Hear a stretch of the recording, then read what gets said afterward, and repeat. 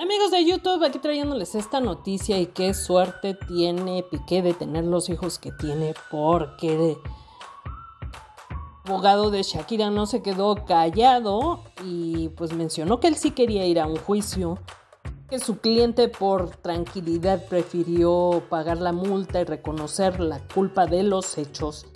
Abogado Paul Mullins está seguro de la inocencia de pues, Shakira y pues aseguró que está metida en ese problema por Piqué. Esa relación no fue algo positivo para sobre todo el problema legal. Él la dejó completamente sola. Además, ella nunca tuvo pues la idea de defraudar a la agencia tributaria de España.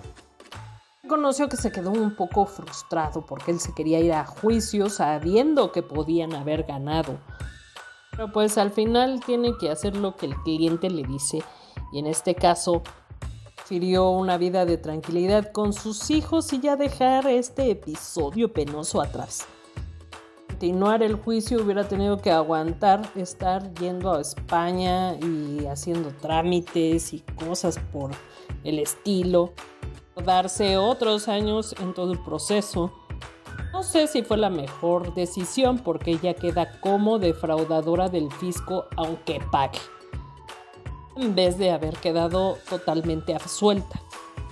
Yo lo veo como oportunismo por parte de España ya que una cantante que hace giras, por ejemplo en el 2011 visitó 74 países sin una residencia en específico, aprovecharon la oportunidad ¿Ustedes qué opinan al respecto? Comenten, compartan, denle like y no olviden suscribirse a nuestro canal.